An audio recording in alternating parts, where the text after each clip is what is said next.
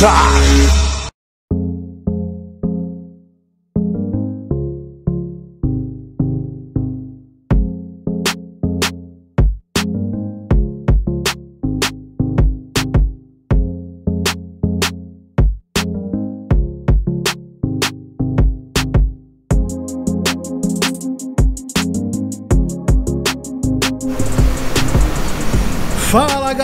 Apaixonadas por miniaturas e carros, eu sou o Leandro e vocês estão no canal Minis.car Galera, eu tô aqui numa oficina é, na Best Car É um local que eu tenho, trago né, o Astra para fazer revisões é, Já trouxe há um tempo atrás quando eu tinha Export, trouxe aqui para cá para fazer alinhamento é um lugar que eu gosto, que eu confio. Eu falei, por que, que não trazer para vocês isso, né? É, eu acho muito legal a gente mostrar também um pouco do nosso dia a dia. Eu vou estar tá mostrando a oficina onde eu, às vezes eu passo a levar os carros ou fazer manutenções quando é necessário. Então eu espero que vocês curtam esse vídeo, tá muito legal. Ó, não sai do vídeo, fica aí que vou, a gente vai, nós vamos dar três dicas para vocês. É, é, vamos supor, você vai comprar um carro. O que, que eu tenho que, o que, que eu preciso olhar quando eu vou comprar um carro? Olha que legal. Então a gente vai dar três dicas é, para você que não conhece muito, não tem muita noção de carro, o que, que eu preciso olhar num carro antes, de, antes da compra e mais três dicas para uma oficina. Pô, eu não conheço a oficina, é, o que, que eu preciso olhar, o que, que eu preciso saber para ser bem atendido ou se aquela oficina é de confiança. Então eu vou pedir para o proprietário aí dar umas três dicas é, em sentido oficina e três dicas aí para quem quer comprar carro. Vai ser muito legal. Não sai do vídeo, acompanha aí que tá bacana, galera. E aí, Paulo, tudo bem? Beleza, tudo bem, Leandro? Como é que você tá? tá? Beleza? Graças a Deus. Bem, graças a Deus. Esse aqui é o Paulo, galera, o proprietário da Best Car.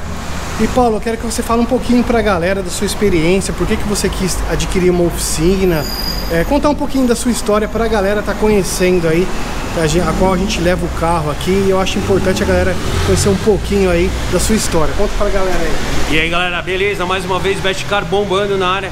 Galera, é o seguinte, eu nunca gostei de futebol, nunca fui ligado nesses negócios, meus focos sempre foi carro. É, minha esposa uma vez fez uma pergunta pro meu pai o que que... Alguma vez você viu o Paulo jogando bola? Ele falou já, quando ele quebrou a perna. Então eu preferi que ele ficasse com o carro e isso daí. Isso é uma paixão minha, tá? É... E não tenho o que explicar. Eu gosto realmente do que eu faço. Eu, me fa... eu falo que eu sou uma pessoa privilegiada, por quê? Porque eu faço aquilo que eu gosto. Eu mexo com aquilo que me dá prazer. Tá? Então hoje mexer com carro, oficina, compra e venda de carro, isso pra mim é top do top do top, tá? Então é mais ou menos isso aí.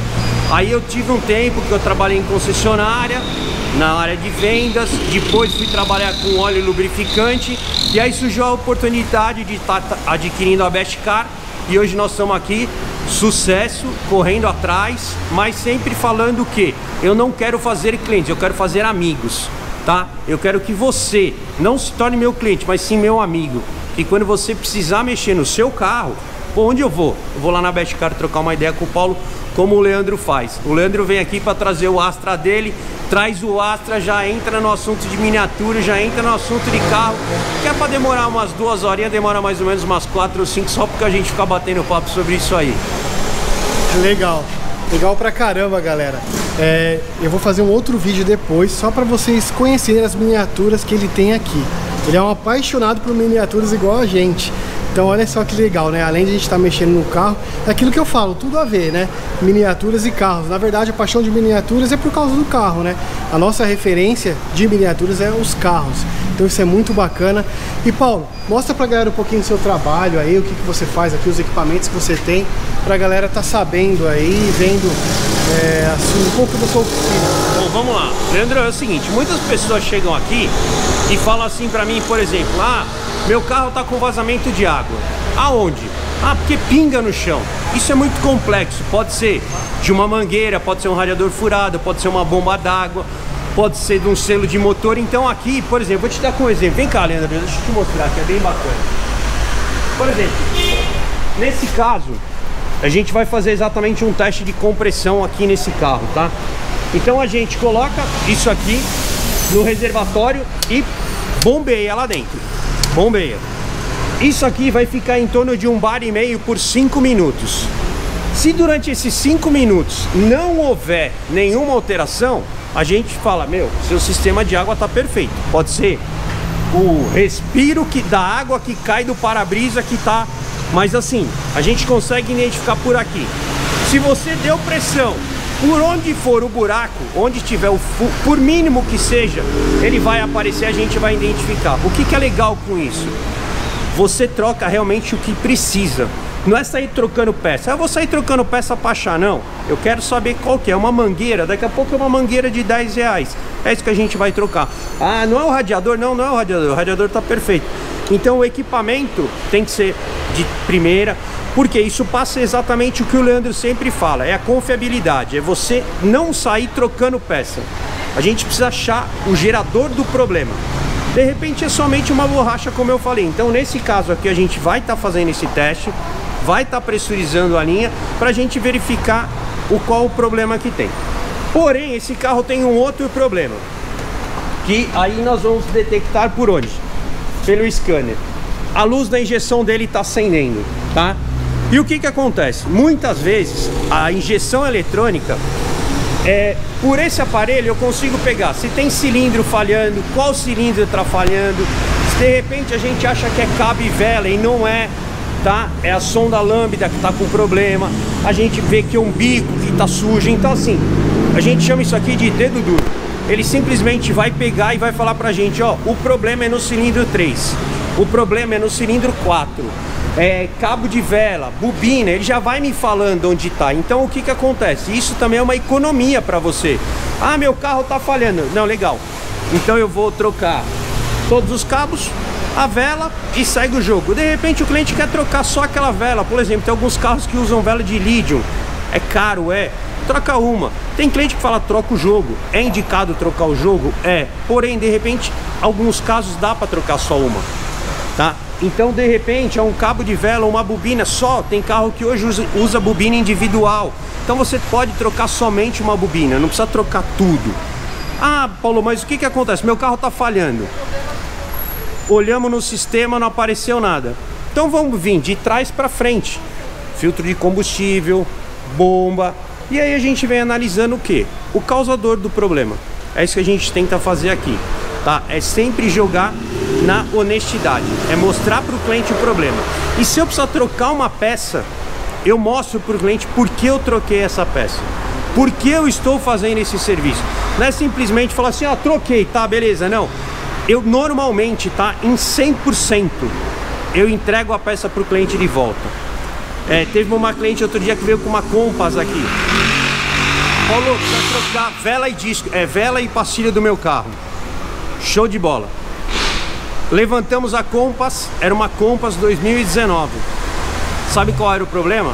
Não tinham quebrado o canto da pastilha, tinham colocado uma pastilha um pouquinho maior, essa pastilha estava pegando no ferro do disco. Ela já comprou a pastilha, já comprou o disco e trouxe para mim porque ela falou: ah, Paulo, já me falaram que é isso, então eu já trouxe.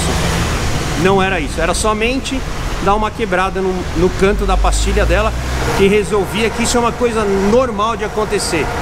Então, pessoal, hoje, quando você for numa oficina, ou quando você quiser ir numa oficina, ou conhecer uma oficina, o que, que você faz?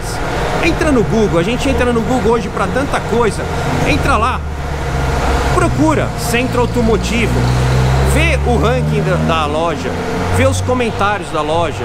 É, nós estamos aqui há dois anos, então assim, a gente vem sempre buscando o melhor, é, ser o mais transparente possível, explicar para o cliente realmente qual o problema do carro dele. Então assim, você quer conhecer, de repente, pô, eu não tenho nenhum mecânico de confiança, vai no Google, vai no Google, olha lá, Centro Automotivo, vai aparecer uma listagem lá você consegue ver a nota, os comentários, então aí fica a dica, tá? Olhem, não conheço, dá uma olhada nisso aí, que isso aí é um belo de um parâmetro para vocês. Legal. É isso aí, galera. Outra coisa que eu gosto daqui, eles deixam o cliente à vontade. Eu fiquei com o Astra aqui, fiquei batendo papo com o mecânico, olhando o que ele estava fazendo, mexendo no meu carro, que eu gosto de mexer no Astra, também regulando farol, algumas coisas que eu queria mexer. Então isso eu acho muito legal, porque tem oficina que você chega lá, os caras não vê a hora do, do cliente ir embora, né? É. Os caras, não pode deixar o carro aí, não pode... Meu, é chato. Pronto, eu te ligo. hora que é. ficar pronto, eu te ligo. Eu acho isso muito chato, galera. É aqui, meu, eu fiquei à vontade, eu fiquei o dia inteiro aqui. Meu, eu moro longe. Imagina, tem que pegar, voltar pra casa, depois voltar aqui. Se eu tô com o tempo livre, por que não aproveitar? Já vou mexer em outras coisas no carro, aproveitar que tem elevador aqui. Então eu achei isso muito bacana. É, ó, segunda dica já que eu tô dando. Ele já deu a primeira aqui, não sei se vocês perceberam. Essa é a segunda dica que eu, como cliente, tô dando. Eu gostei demais disso, sabe, galera? Você ter a liberdade de ficar aqui. Se quiser para sua casa, você vai. Se quiser ficar aqui acompanhando o seu carro, você fica. Isso eu acho muito bacana, Paulo. É, é, uma, é, é, é, uma, é uma coisa muito particular minha, Leandro. Eu digo o seguinte: a gente não tem que esconder o trabalho que a gente está fazendo. Se o Leandro está sentado ali dentro, eu identificar que ele chegou aqui e falou assim: ó, me troca a pastilha. Ah, eu vou trocar a pastilha. Leandro, vem cá, dá uma olhada. Você deixou a pastilha chegar tão no final que ela comeu o disco. Aí o que que acontece? Eu vou mostrar para ele o porquê eu tenho que trocar o disco. Mostrar na frente, na hora. Ó, Leandro, marcou o disco, a gente não vai ter como, porque se eu colocar uma pastilha aqui, o que vai encostar primeiro vai fazer só um fiozinho, vai fazer barulhinho, então a gente deixa o cliente totalmente à vontade. Eu quero acompanhar o serviço, fica à vontade. Posso ficar na recepção? Fica à vontade. Água, café, bolacha, tudo à vontade. Ó, só pra falar, comeu pra caramba no dia. Deu um prejuízo que você não faz ideia, meu. Era água, era coca. Ainda chegou a pedir Coca-Cola. Mas tudo bem. O André, é gente boa, a gente libera pra ele. Legal. Então é isso aí, a gente deixa o cliente à vontade aqui. Paulo, fala a última dica aí de oficina, a terceira dica. O que, que a pessoa precisa para saber se ela está indo num lugar bacana, é para levar o seu carro ou é identificar se a oficina é, é legal ou não? Eu acho que é exatamente aquilo que eu falei no, no meio do vídeo. Pessoal, dá uma olhada no Google. Google, centro automotivo, troca de óleo. Dá uma olhada na nota da oficina. Dá uma lida nos comentários das pessoas. O jeito que trata Exatamente. Veja se quando a pessoa faz um comentário, mesmo que seja um comentário negativo, se a pessoa responde esse comentário negativo. Porque daqui a pouco ninguém é perfeito. Erra, erra. Mas assim, a gente tenta acertar 100%. Não conseguimos, às vezes erra.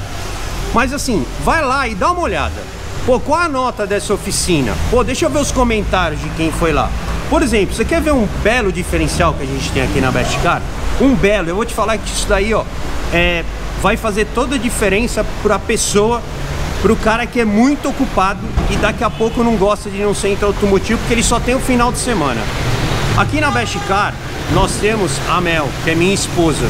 Então, por exemplo, a sua mulher, a sua esposa, precisa trocar o óleo do carro dela. Pô, eu vou deixar minha mulher num ambiente chato, que só tem homem. Não, aqui na Best Car nós temos um sistema onde a Melissa, tá? Ela atende a cliente. Se precisar levar a cliente até a casa dela e voltar, a Melissa faz esse serviço. Então aqui a gente tem um ambiente familiar, tá? Eu vivo falando isso para os funcionários. É, eu quero isso aqui como um ambiente familiar. Como eu falei, eu não quero ter cliente, eu quero ter amigos. Então o Leandrão vem aqui, a gente senta, troca ideia, conversa, papapá, como muitos vêm aqui fazer isso. E nós temos diferença exatamente disso. Você, mulher, ou você que de repente trabalha pra caramba, chega no sábado, sua mulher fala assim: ah, precisa trocar o óleo do carro. Puta, eu vou ter que fazer isso. Meu, aqui na Best Car nós temos um atendimento exclusivo para mulheres. Legal, hein, tá? Que é uma coisa que eu vejo que tem muito pouco. Ainda tem muito preconceito. Então aqui na Best Car a gente tem isso. Meu, pode pedir para sua esposa vir aqui, ela pode ligar, marcar com a Mel, conversar com a Mel, que ela vai ser atendida. Legal, tá? hein, pessoal?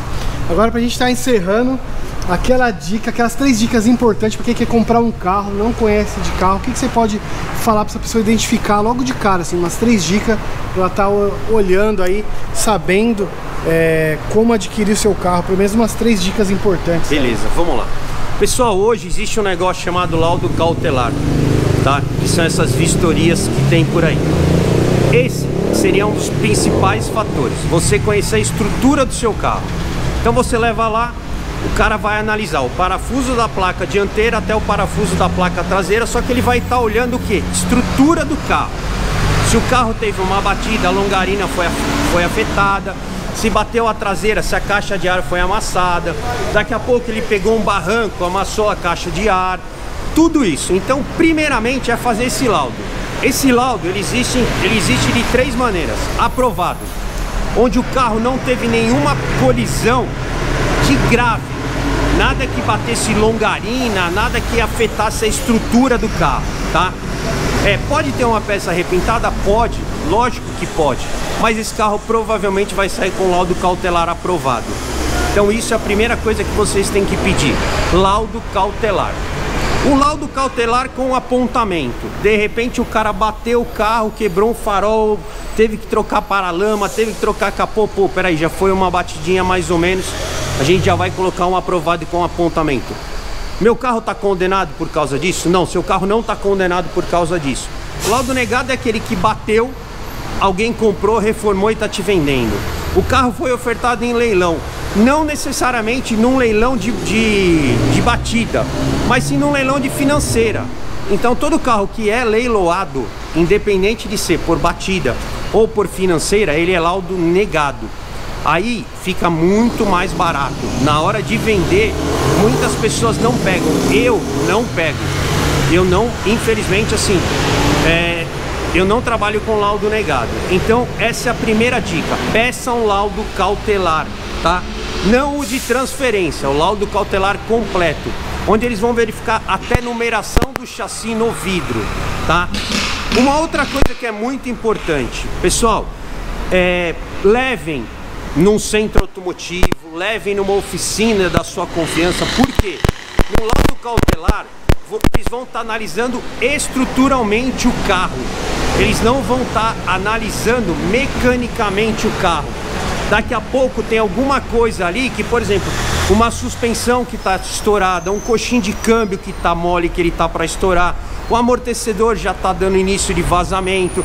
Então, assim, isso é muito importante.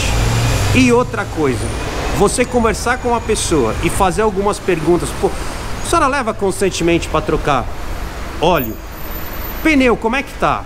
Você olhar o estado geral do carro e o carro te fala, meu, eu fui bem cuidado ó, meu, eu fui zoado. Isso, na hora, você já mata que aquele carro não é bom. Não é bom. Às vezes você vai fazer uma filtragem, você entra lá no naquele negocinho amarelo lá, sabe? Mercado Livre, é isso daí. Que que acontece? Filtrar, menor preço. Aí você olha menor preço, você vai lá. Por quê? Eu quero pagar o mais barato.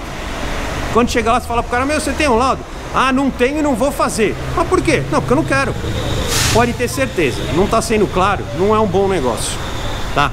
Então, eu acho que isso são as três dicas mais importantes. Laudo cautelar, leve no mecânico de sua confiança para ele analisar a parte mecânica e outra, veja pneu, que é coisa que você consegue visualizar e faça algumas perguntas. Você troca o óleo periodicamente? Dá uma olhada na etiqueta de óleo do cara. Dá uma olhada nos bancos, vê se os bancos estão rasgados, se os bancos estão sujos. Foi uma pessoa que não cuidou. É um carro depreciado? Não. Falta um dono que a gente brinca. Tem um Astra que veio aqui outro dia, um Astra azul. Eu vou falar pra você que é um carrinho nota 10. Falta um dono. Foi o que eu falei pro Leandro. Leandro, é um carro que falta um dono, mas ele já tá tratando, ele já tá mexendo, ele já tá fazendo. Então, assim, ele entendeu que é um carro que faltava um dono, mas era um carro de estrutura boa, mecânica boa. Faltava o quê? Faltava um dono. Então é isso tudo que você tem que analisar. Você vai comprar um carro, amigão, põe na ponta do papel. Quanto é a parcela, quanto é o seguro, quanto é o IPVA, faça tudo isso aí. Se você for levar num centro automotivo de sua confiança, nós estamos falando confiança, tá pessoal, e honestidade. O cara falar para você, você vai gastar mil, você pode colocar mil. Então você sabe que é o valor do carro mais mil e mais tudo isso que eu te falei.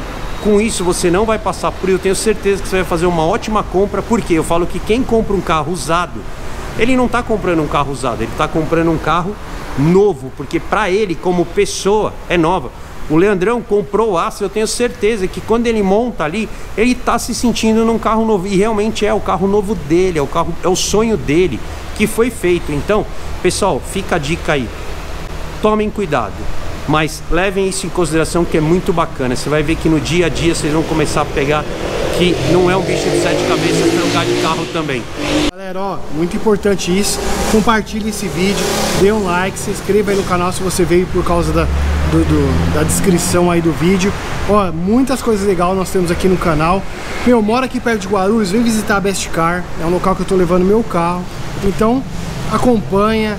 Eu vou deixar na descrição é, todos os dados da loja aqui, se vocês quiserem, contato, tudo direitinho, tá? Vai estar tá aí na descrição abaixo do vídeo. Vamos fazer o seguinte, é. o André é meu, meu parceiro. Pra você que curtiu esse vídeo, tá? Botou um likezinho lá pra ele. Faz o seguinte, vem aqui, tá? As 10 primeiras pessoas, eu vou estar tá fazendo a troca de óleo 5W30, tá? Da Bardal, API SN Plus e o SP, o API SP também eu vou estar tá fazendo essa troca de óleo para você por 160 reais óleo e filtro. Oh, Só fala, rapaziada. ó, vi você no site, do, no, no, canal, no do... canal do Leandrão e tô vindo aqui trazer. E vem aqui tomar um café comigo e eu vou te dar essa promoção. Isso aí, ó, eu Legal, boto na hein, conta galera? do Leandro. Tá bom, galera? Vem pra Bestcar que a Bestcar tá bombando e o canal do Leandrão também. É isso aí, galera. Até o próximo vídeo. Tchau, tchau. Fui!